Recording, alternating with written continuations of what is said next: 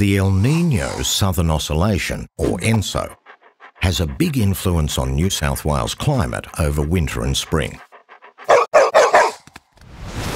The Pacific Ocean trade winds blow from an easterly direction, pushing moist air towards Australia. This moist tropical air is a big source of rain across eastern Australia, including New South Wales. But ENSO's behaviour can vary from year to year. During La Nina, ENSO chases greater amounts of moist tropical air across Australia. Many La Nina years have seen higher rainfall in inland New South Wales during winter and spring.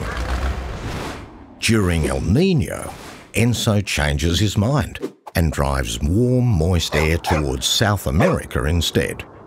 El Nino years have often resulted in drier winter and spring periods for inland New South Wales.